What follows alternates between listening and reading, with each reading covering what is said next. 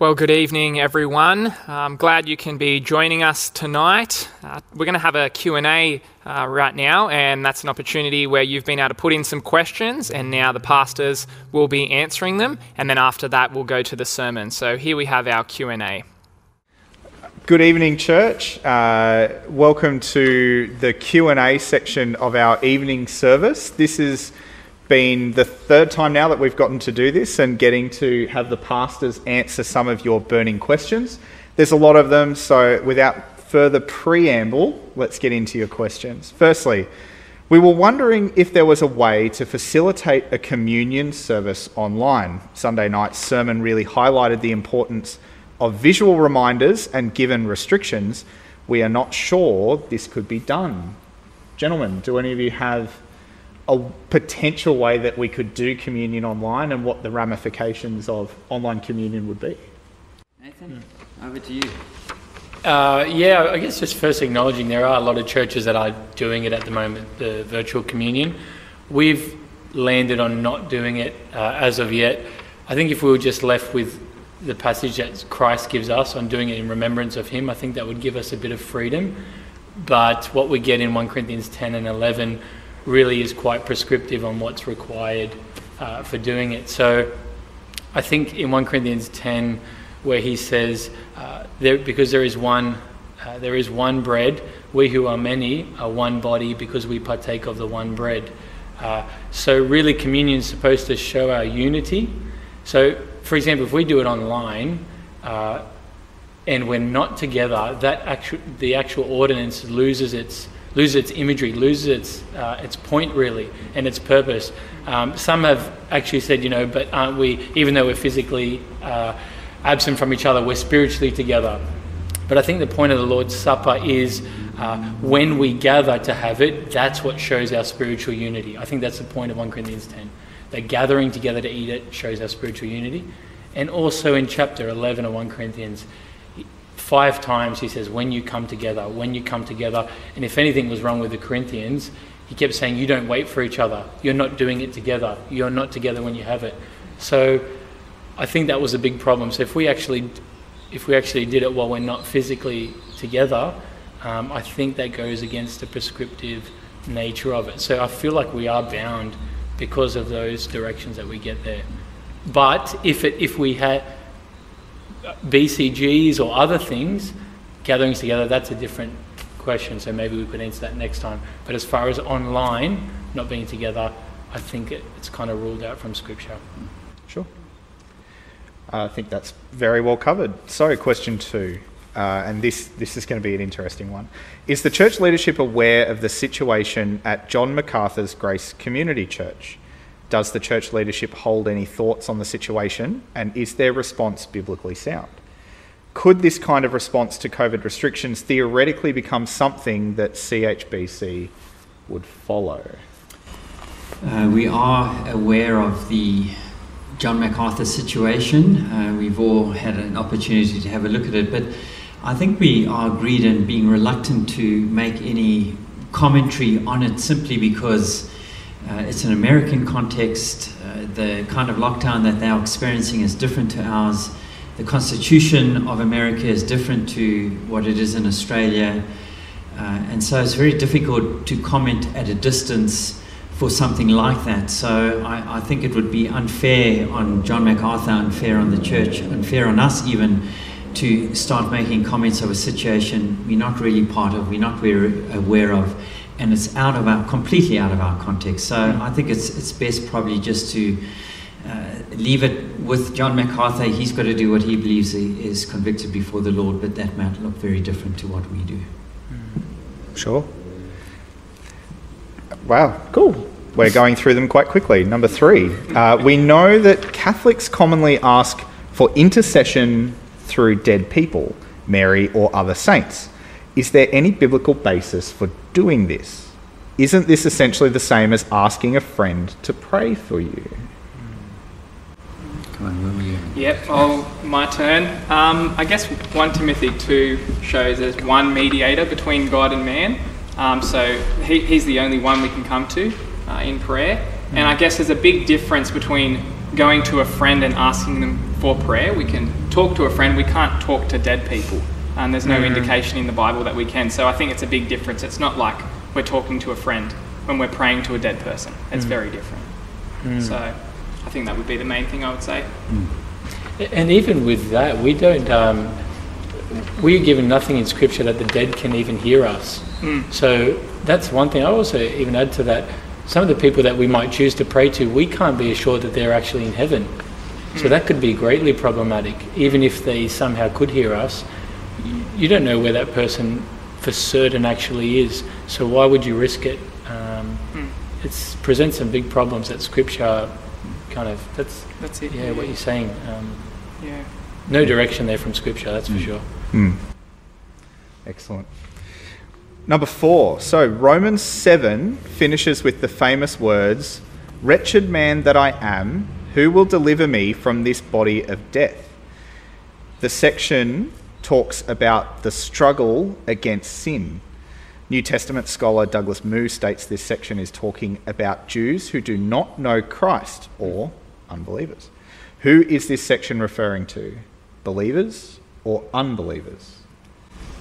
I'm happy to kick this off, but I'll, I'll let the other guys add to this. Um, look, it's a, it's a difficult passage. There are varying views that come out from different commentators. Uh, Martyn Lloyd-Jones preached on this passage, and uh, he was fairly clear that his understanding of what was being said there was definitely directed towards believers. And I think if you if you read the passage through and you take out those uh, perhaps those external spectacles you wear on what different commentators say, I think it makes the most sense in its context, speaking about the struggle that believers have with sin. And we have all experienced this, where we do things we don't want to do and we don't do the things that we ought to do. And uh, there's this internal cry, you know, why can't we, we get this right? uh, all of the time, and of course, it's impossible to get right all, all of the time. So when I read that passage, I see it specifically referring uh, to believers, the struggle that we have with sin. And in fact, when Paul gets to the end of that section, he says, Who will rescue us from this body of death? Thanks be to God uh, who gives us the victory through Jesus Christ. What he's actually saying there is the rescue that comes is death. Death rescues us finally from this body, and we go into the presence of God, where we experience the, the, the hmm. victory forever. So, my, my take on that passage is, is, is a wrestle that believers have in this current world with sin. You guys, please feel free to add. Hmm. No, I, I would agree with that. Like, and I think with verse 25 where and 24 where he says, you know, thanks be to God through Jesus Christ who has rescued me. And then he goes, therefore or so then, I myself in my mind am a slave to God's law, but in the sinful nature a slave to the hmm. law of sin. So he goes back to the argument he's been making again after that. Some people would say at verse 25 he switches to maybe salvation and that leads into Romans 8, but it doesn't work because straight after he goes back to that argument. So hmm. I would agree with that. And even maybe in, um, I guess in Romans 8, it sort of links when he's going on about how the he wants to be, we should be groaning to be free hmm. uh, from this life. That, that groaning is similar to Romans 7, really. So the, the two chapters aren't separate. I, I think they do link. They are together. Yeah. You know, I've studied both positions and I've landed on the same. Hmm. I think it's referring to believers, and I think it's one of God's gifts, that hmm. passage, hmm. because we don't get a whole lot of that from Paul.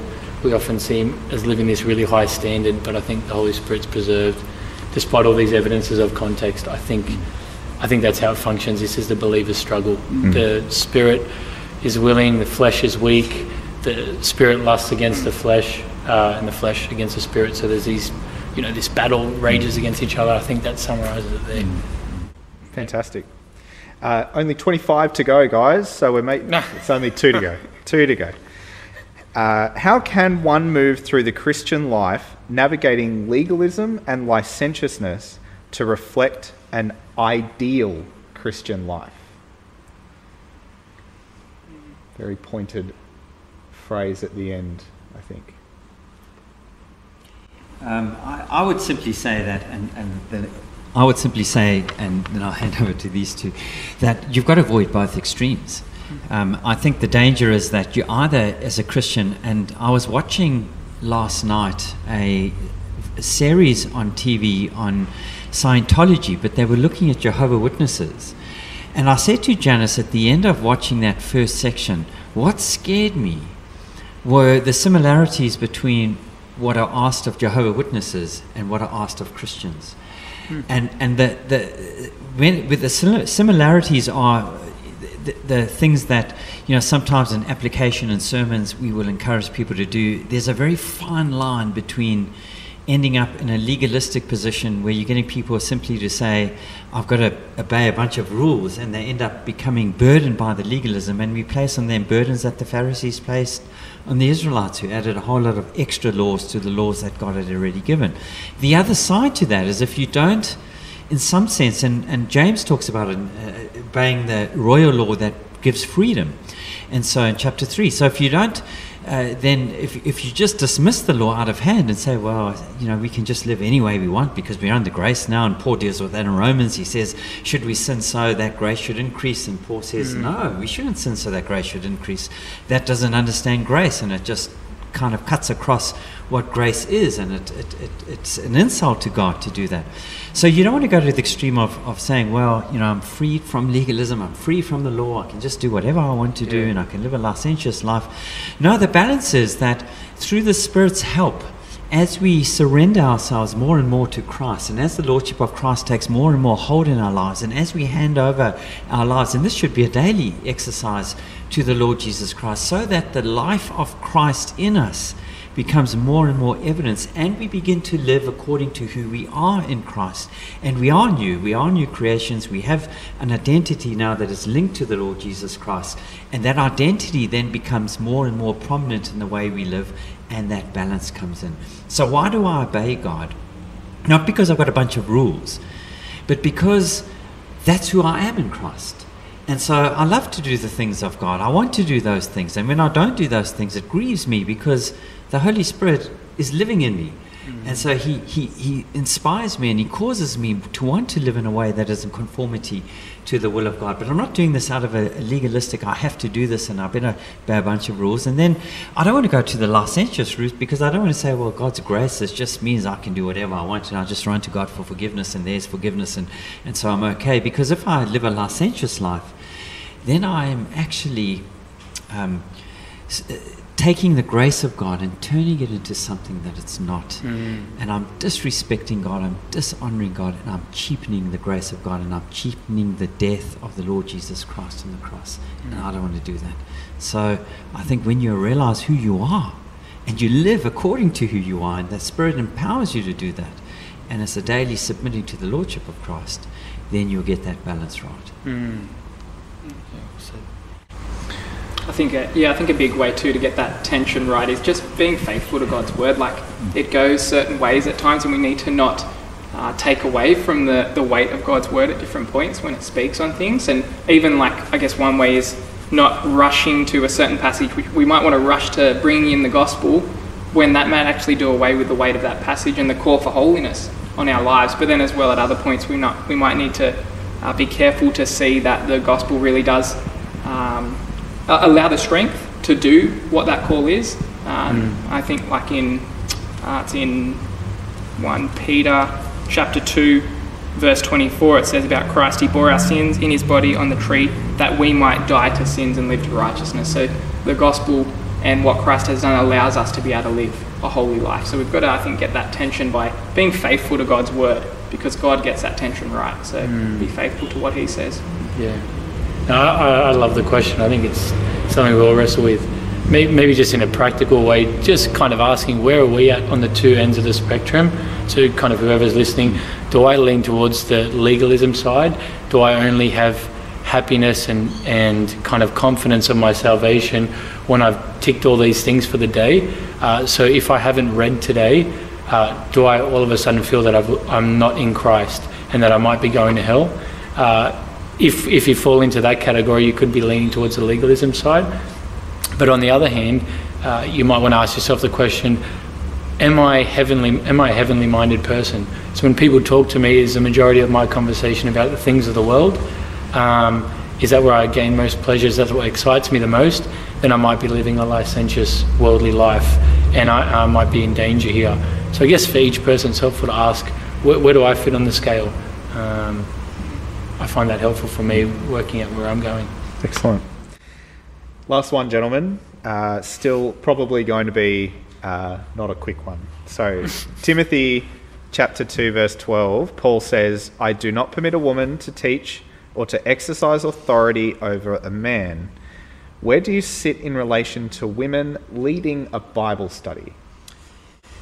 I am going to kick this off uh, only because I've preached through that passage. And if you were here in the morning, and so can I encourage you, uh, if you weren't here in the morning service when I did preach through that passage, to actually mm. go and get the CD.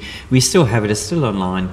And I, I really did try and deal with those issues. But let me just speak to it again. I think one's got to be it's a, a, very careful here because there are even amongst complementarians there are different understandings of how Bible studies function and, and what role women can or can't play in a Bible study. And so one doesn't want to be too dogmatic at this point.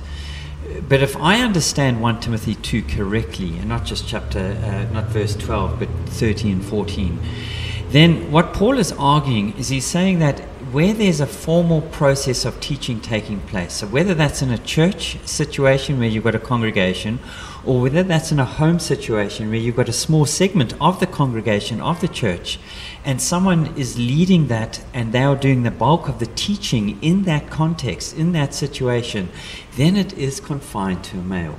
Hmm. If you're dealing with someone who is uh, coordinating a Bible study. So they're not acting as the primary teacher in that sense, but they may just be coordinating in sense of going through a number of questions in a book and everyone's contributing, and then you move on to the next question. So they're not the ones who are doing the bulk of the teaching. I can, at that point, uh, live with someone who is not a male, that is a woman who is performing that kind of a role. But if in a study they are doing the bulk of the teaching, then that is confined mm. to a male.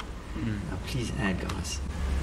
I guess the only thing to add is that's obviously in a mixed Bible study. Yes. If it's just women, then that would be quite different, and they would be able to teach. Yes. Or if it's young children too. Yes. Then that mm. would be different. True. They'd be able to teach.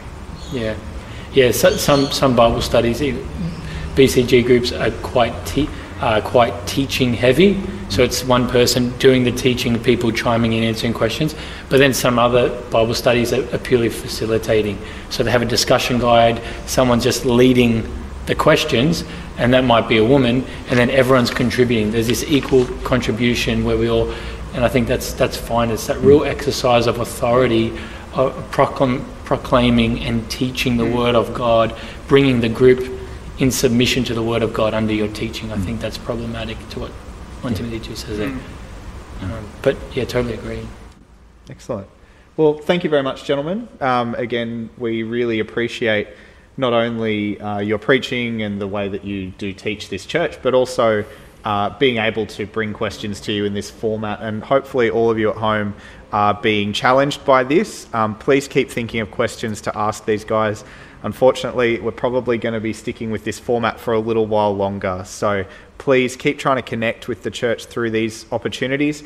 Ian mentioned uh, the sermon that he preached. I will do my best to make sure that I link it in the description. So if you're on YouTube, uh, you will be able to get a link to that podcast so that you can hear that one as well. Thank you again, gents. And now we're going to have Pastor Will with the sermon. Well, the passage we're looking at tonight is Joshua chapter 5, verse 1 to 12, as we continue in our series through Joshua. So turn there, Joshua chapter 5, and please read along with me and be looking at your Bibles as we go through this sermon. Joshua chapter 5, verse 1 to 12. Now, when all the Amorite kings west of the Jordan and all the Canaanite kings along the coast heard how the Lord had dried up the Jordan before the Israelites until we had crossed over, their hearts melted, and they no longer had the courage to face the Israelites. At that time, the Lord said to Joshua, Make flint knives and circumcise the Israelites again. So Joshua made flint knives and circumcised the Israelites at Gibeath Haaraloth. Now, this is why he did so all those who came out of Egypt, all the men of military age, died in the desert on the way after leaving Egypt. All the people that came out had been circumcised, but all the people born in the desert during the journey from Egypt had not. The Israelites had moved about in the desert 40 years until all the men who were of military age when they left Egypt had died, since they had not obeyed the Lord. For the Lord had sworn to them that they would not see the land that he had solemnly promised their fathers to give us, a land flowing with milk and honey. So he raised up their sons in their place, and these were the ones Joshua circumcised. They were still uncircumcised because they had not been circumcised on the way. And after the whole nation had been circumcised, they remained where they were in camp until they were healed. Then the Lord said to Joshua, Today I have rolled away the reproach of Egypt from you. So the place has been called Gilgal till this day. On the evening of the fourteenth day of the month, while camped at Gilgal on the plains of Jericho, the Israelites celebrated the Passover. The day after the Passover, that very day, they ate some of the produce of the land, unleavened bread and roasted grain. The manna stopped the day after they ate this food from the land. There was no longer any manna for the Israelites, but that year they ate the produce of Canaan. Let's pray. Our great and awesome God, we thank you for the God that you are. We lift you up and praise you that you are a God who has been gracious and merciful to us. We thank you for that mercy and that forgiveness that we have found in Christ, that we know in Him through His sacrifice and through His death. And we thank you so much for this, God. And we thank you that we have access to you now, that we can speak with you, that we can be your people, and that we can receive all the good that comes in being united to Christ. We thank you for what He has done. We thank you for the future hope that we have. And we pray, God, as your people, that you would help us to live in light of this future hope, that you would help us to store up treasures in heaven and to wait for that eternal weight of glory that is coming. Please, God, we pray that you would cause us to be citizens of heaven that would lo- live looking forward to what is to come. And we pray, God, that you would help us as we do this to be a light to those around us that you would cause us to be your witnesses as we live not for this world, but as we look forward to what is to come, as we take great hope in the gospel and what you have done, may we be a light and may you cause us to speak of this hope to others. And we pray, God, that through your word tonight you would equip us to do this more. And we pray, God, that you would grow our trust in you and that you would cause in us holy lives that would honor you. Please do this through your word for your glory. Amen. If you are anything like me and most people in our society, we rush around trying to quickly get things done. We want to be swift, speedy, and efficient in what we do. We want to rush into starting another ministry or serving in another one. We want to pump out the things that we're doing in life. There's pressure to perform. There is a pressure to be successful. There are deadlines, and we need to get cracking and start doing things. And we want to quickly as well receive the benefits and blessings from God that can come from the things we do. But imagine if we were in the Israelite situation in Joshua 5. Imagine if we were in the Israelite situation here. They had been stuck in slavery in Egypt, and then God had set them free. They had crossed the Red Sea only to find themselves wandering in the wilderness for 40 years because of their sin. Now, by a miracle, they've crossed the Jordan River and they're ready to take the promised land and receive the covenant blessings that God promised hundreds of years ago. Surely the urge to go into battle would have been huge. Surely they would have wanted to rush in and take what God had promised. This is what they'd been waiting for to go in and take the land, the promised land that was flowing with milk and honey, all these good things. And the enemy is frightened. And the people are ready to fight, and all the motivation to take the land is right before them. Surely now's the time. Surely now is the time. But God wasn't thinking this. He had his own time, and he had preparations that first had to happen. Something is even more important than them rushing into the land and taking it and conquering it and serving God in that way. God doesn't rush his people into battle but he slows them down and he prepares them for the great tasks ahead of them. And we need to pause and prepare too before rushing into the tasks God has ahead of us. We think the quicker we do things, the better. We run around in life always so busy, rushing from one thing to the next. But in our passage tonight, we need to see that there are some necessary things that must happen before rushing into the things God has ahead of us as we serve Him. We need to prepare before rushing into our to do lists. So, the big question we answer tonight is what were the necessary preparations Israel had to undergo? And what must happen before we rush into the tasks ahead of us? Well, there are four points we have as we work through the passage. Firstly, God must prepare the way. The verse before our passage, Joshua chapter 4, verse 24, says this He did this so that all the peoples of the earth might know that the hand of the Lord is powerful, and so that you might always fear the Lord your God. Up to this point, God has been working in powerful ways. The people of Israel have just crossed the Jordan River in flood season, and God has allowed it as He cleared the water for them. And He has done it so the nations would know that He is powerful and so that his people would fear him and therefore trust him. And verse 1 of our passage shows it has worked. It says, Now when all the Amorite kings west of the Jordan and all the Canaanite kings along the coast heard how the Lord had dried up the Jordan before the Israelites until we had crossed over, their hearts melted, and they no longer had the courage to face the Israelites. The nations have seen great miracles, and they are in fear of the Lord. They have never seen anything like this. God is like no other. None compare to him in what he can do. God is powerful and he is to be feared, and these nations do. There are two lessons here for us. Firstly, God works so that people will fear him and know his power. Again and again in the Bible, we see God works so powerfully so that his glory and majesty would be over this world, and so that people would know he is the Lord.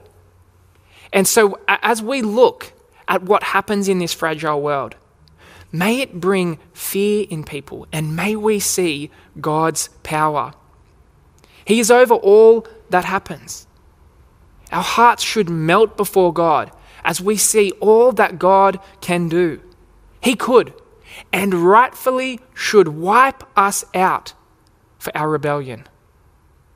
But in His mercy, He hasn't.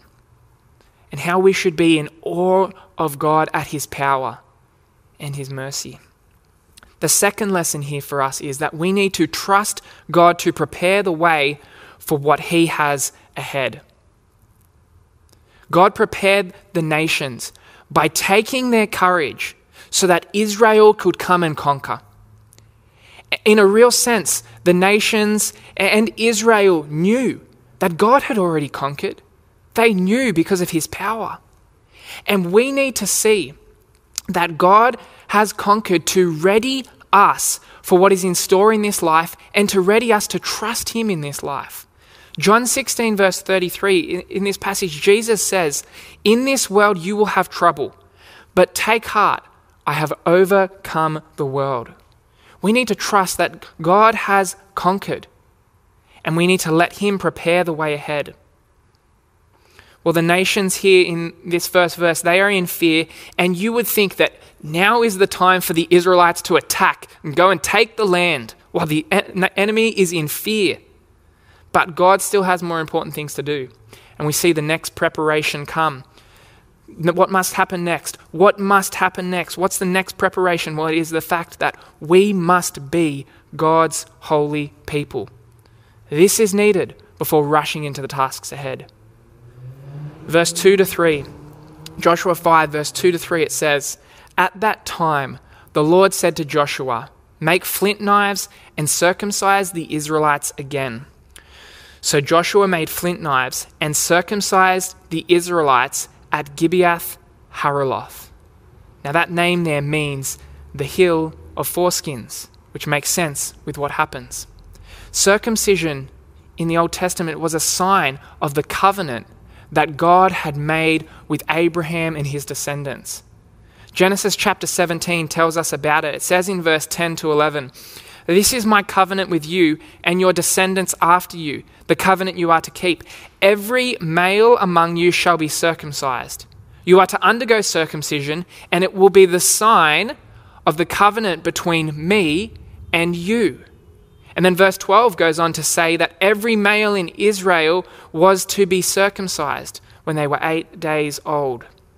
So God commanded circumcision hundreds of years ago before this chapter, hundreds of years before Israel comes to this point.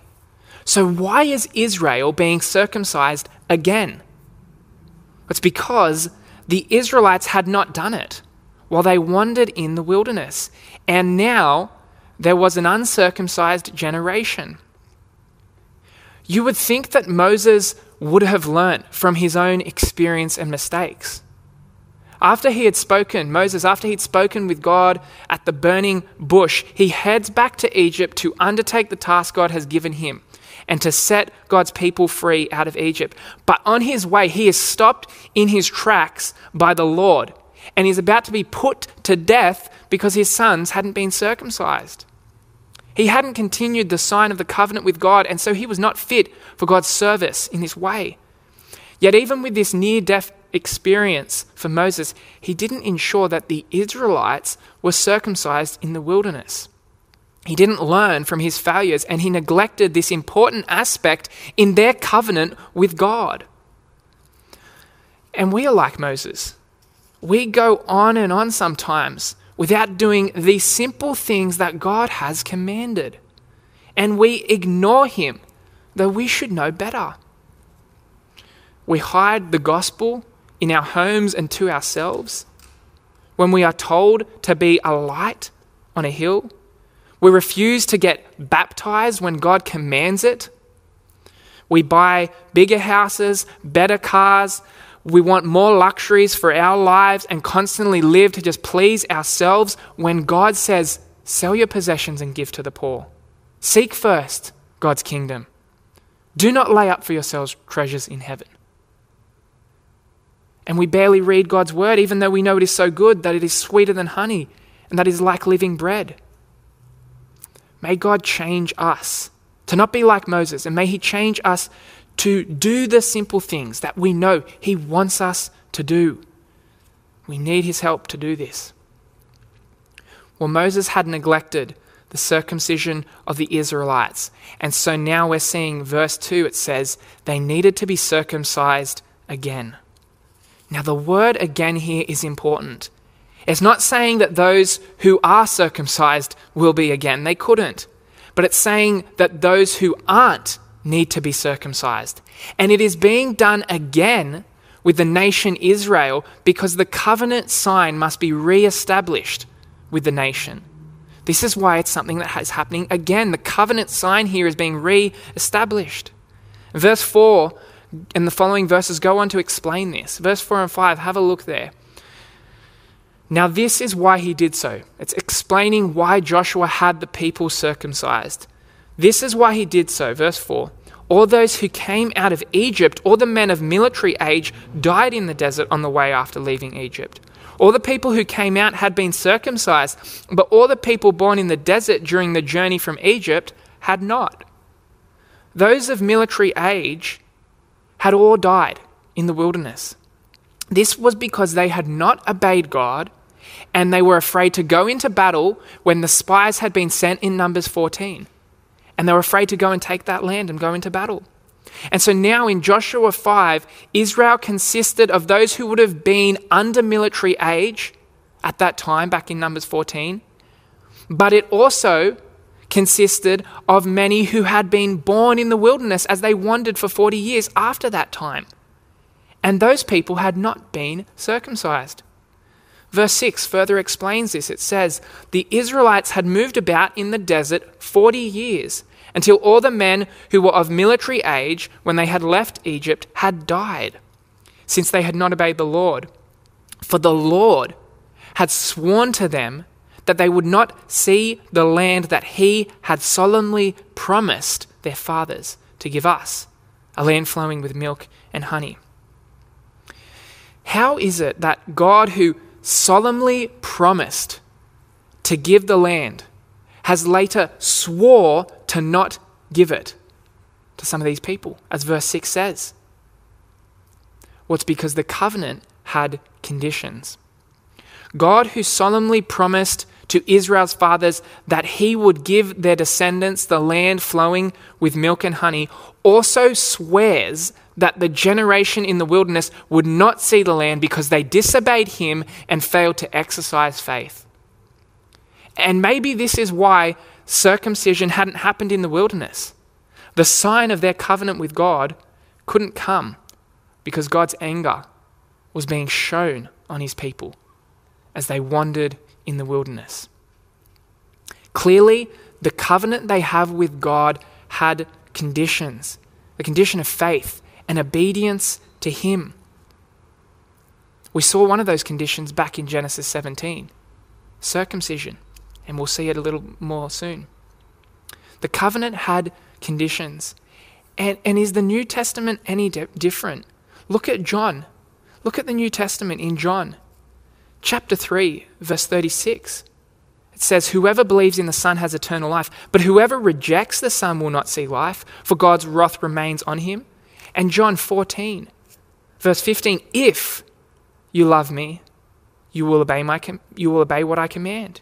If anyone loves me, he will obey my teaching. And John 15, verse 10, so clearly, if you obey my commands, you will remain in my love. And Hebrews 12, verse 14 without holiness, no one will see the Lord. The New Testament gives these conditions, yet somehow these conditions don't contradict God's grace and are not promoting salvation by keeping God's law. We must remember that the conditions of the covenant that are given in the commandments to Israel are given after he redeems them from Egypt. God redeems his people, and then he expects this certain way of life. He redeemed them, and then he gives them the commandments. And God redeems us. He redeems us to create a holy people that are zealous for good works, as Titus 2 says. And we are only able to do this, only able to live holy lives, because in the new covenant, we have God's Spirit in us. God's law is written on our hearts. We are first redeemed. And then, if we are redeemed, and if God's Spirit is in us, and if God's law is written on our hearts, then we will be made into holy people through the power of His Spirit. So, back to Joshua, here we see that the sin of these people back in the wilderness, before the wilderness happened, their sin caused them to miss out on the covenant blessings. And now God has raised up their children to take their place instead. Have a look, Joshua 5, verse 7. So God raised up their sons in their place, and these were the ones Joshua circumcised. They were still uncircumcised because they had not been circumcised on the way.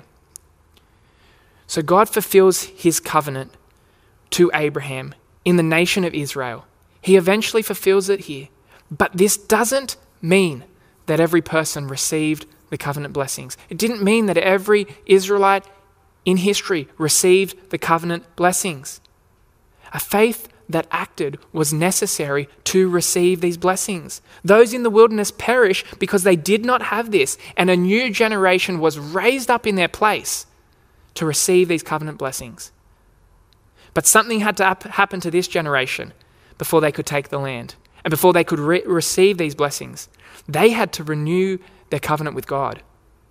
And God had to grow faith and obedience in them. That's what Joshua 5 is about.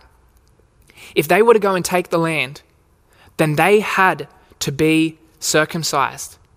And if they were to go and take the land without being circumcised and without being in covenant with, with God, then they would be cut off from being God's people. That's what Genesis 17, verse 14 says. It said, Any uncircumcised male who has not been circumcised in the flesh will be cut off from his people. He has broken my covenant. Circumcision is a sign of the covenant and an act of obedience. So those without it couldn't experience God's promises. And so, here, this is why this new generation had to be circumcised and renew their covenant with God. And this is now a new beginning for Israel. They are making a new start and they're being careful to obey God and the conditions put on them in this covenant. And after all of this, after this circumcision happens, verse 8 says, understandably, it says, And after the whole nation had been circumcised, they remained where they were in camp until they were healed. God's timing in all of this is so clear. He has Israel immobilized because of circumcision at a time when the nations are paralyzed by their fear of God and what He can do, as verse 1 showed us. God knows what He's doing. But also, what deep trust would have been needed by Israel to be circumcised at this time when they were surrounded by enemies? The men of Israel would have been unable to fight for days or even weeks, and the nation would have been vulnerable to attack and so a deep trust in God was necessary here to be circumcised and listen to God's command while they were surrounded by the enemy.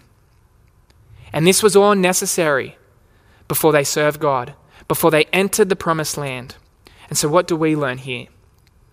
Well, we learn we must be in covenant with God before serving Him. We must be God's holy people to serve Him. Sin must be removed, and we must identify with Him as His follower our holiness as well is so key before we get on with serving God or running to doing things.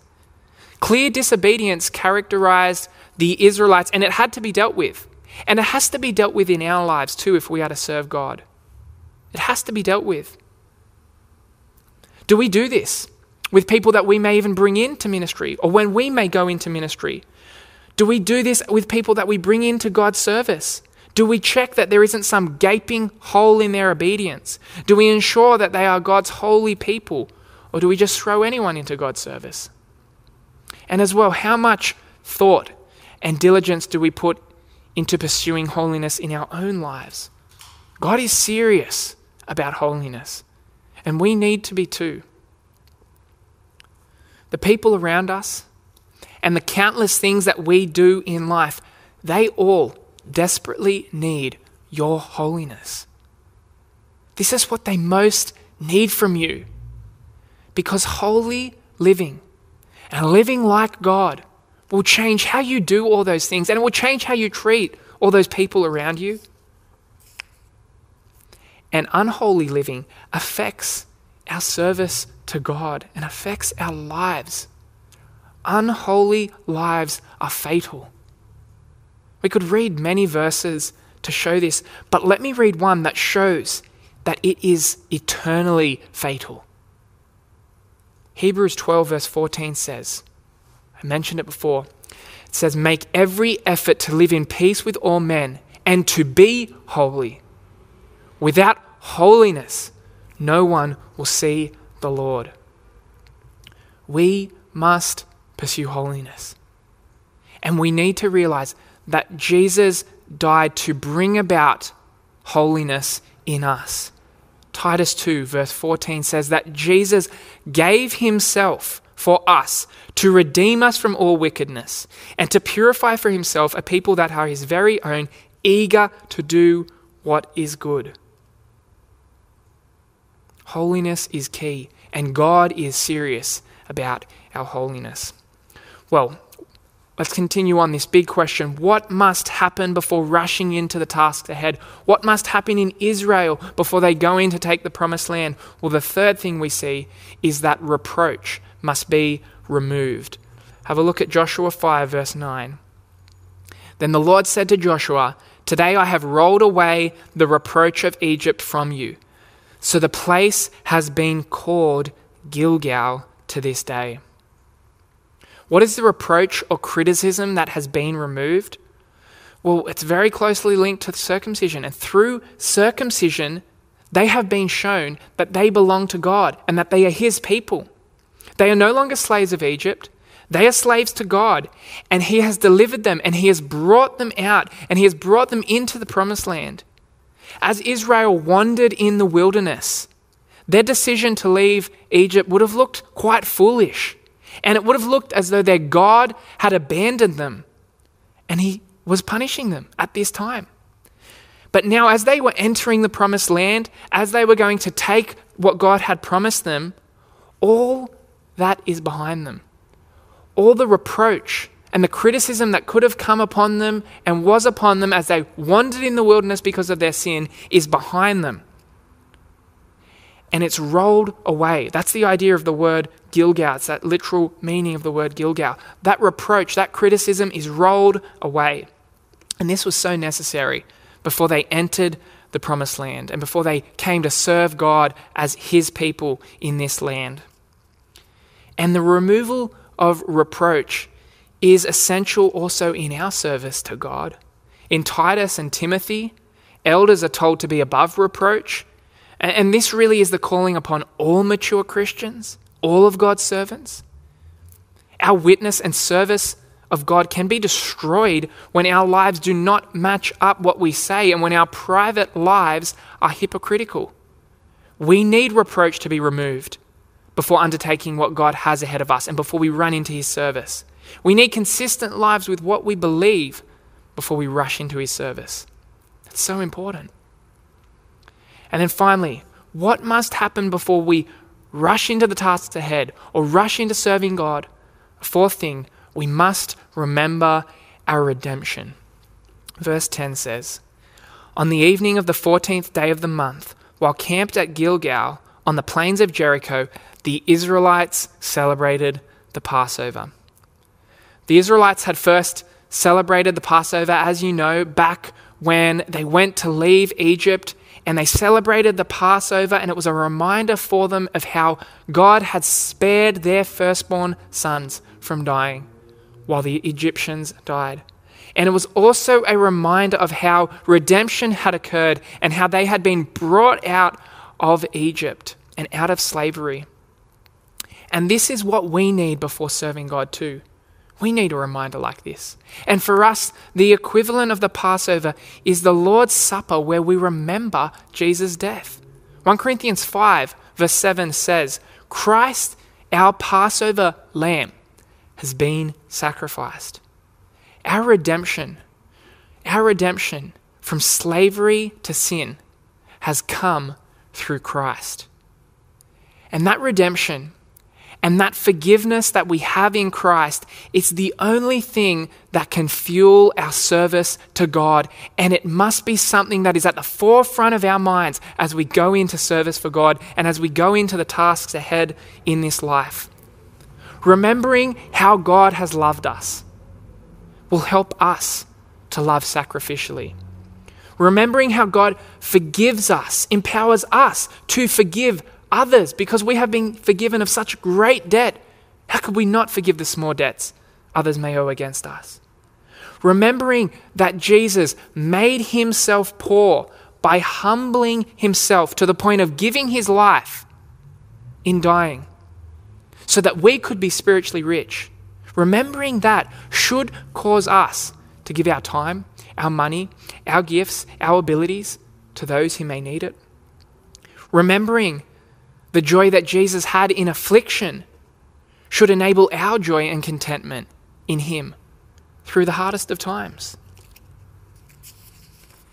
And remembering the past of what God has done in redeeming us and in all that He has bought through Christ should ready us to have faith for the tr- future troubles that are to come. We need to come back to Christ. We need to come back to remembering our redemption and all that we have in Him, all that we have by being united with Christ, all the spiritual blessings that come by being in Him, we need to remember it to be equipped and ready for God's service. Well, we've seen here in Joshua 5 how God has prepared His people, and now, now they are ready for what God has ahead for them. And verse 12, 11 and 12 show a big turning point. Have a look, verse 11 and 12. It says, The day after the Passover, that very day, they ate some of the produce of the land, unleavened bread and roasted grain. The manna stopped the day after they ate this food from the land. There was no longer any manna for the Israelites, but that year they ate the produce of Canaan. This is a key turning point and a key moment in Israel's history. They finally eat the produce of the land. A new time has come. They are in the new land with a new diet, and so the manna stops because God is fulfilling his promises. Three times it says here, really emphasizes it. It says they ate the produce of the land to reaffirm that God has kept his promise. They are going in and they are going to conquer the land and inhabit the promised land. And this is what the rest of the book shows. And God is keeping his promise. And what hope should this should give us too? That God keeps his promises.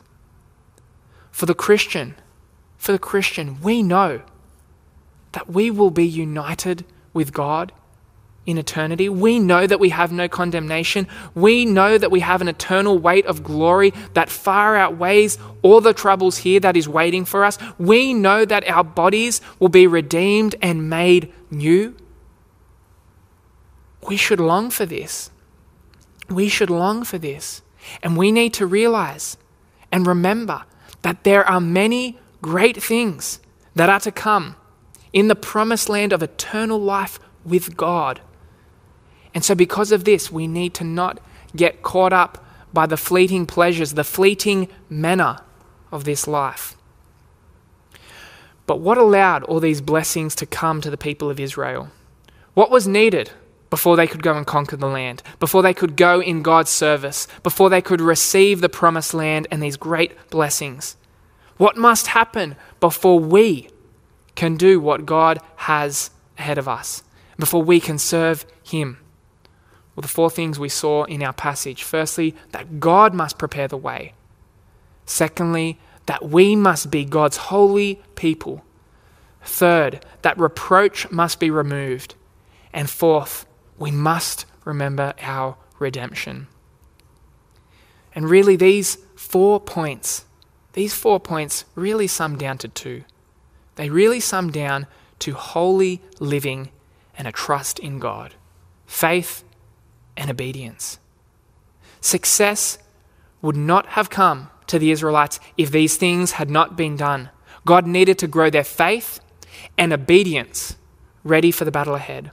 And we need this. I need this. I want to rush to things. I want to rush to doing the next thing.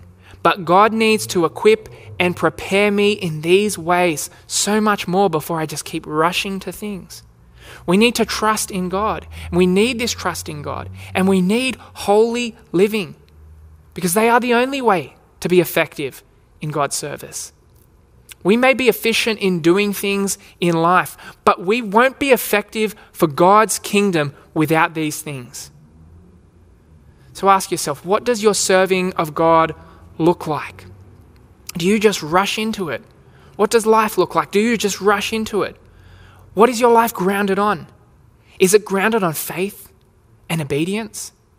Is every moment characterized by a trust in God and a desire for holy living? I could tell you to do certain things now to try and grow your faith and to grow your obedience, but instead, I want you, after tonight, to just take the time out to ensure that God has readied you for what He has ahead. Rather than me telling you what to do, I challenge you to set aside the time tonight and seek for God to show you what must be done to grow faith and holy living in you. Don't rush to just doing the next thing that is ahead of you, but instead seek to cultivate a life of holiness and dependence on God if you want to be effective in His service. For me, as an example, it is clinging to God in prayer and in the wisdom of His Word and gaining this each morning before I rush into everything that the day holds. Faith and obedience in my life would flee quickly if I didn't spend time with God on my knees in prayer and in His Word, daily reminded of His promises and the challenges He gives me. Faith in Him and holy living would be gone in my life like that if I didn't have these things strengthening me. And sometimes faith and holy living are gone in my life because I neglect time with God in His Word and prayer and the wisdom that He can give. So for me, that is how I seek to cultivate a life of holiness and dependence upon God. And may you do the same. May you seek the things that are needed to cultivate this life of trust, dependence upon God, and holy living so that we are effective for God's service in this life. Let's pray. Our great God, we thank you for your word. We thank you for the Old Testament and this passage here and how it is still so relevant and convicting for us, God. We pray that even these simple challenges of faith, of the need for holy living, we pray that they wouldn't just brush over our minds, God, but that we would see our desperate need to do these things and to live in this way. May you remind us, God, of these things and how we need to prepare before rushing into stuff, before rushing into your service. Please ready us for your service, God, in the way that we have seen that you readied the Israelites. Please do this in us, God, and equip us to be effective in this life for your glory. And now, may God Himself, the God of peace, sanctify you through and through May your whole spirit, soul, and body be kept blameless at the coming of our Lord Jesus Christ. The one who calls you is faithful, and he will do it. That was 1 Thessalonians chapter 5 verse 21, 23 to 24. God bless you church and I look forward to sharing again with you in the future.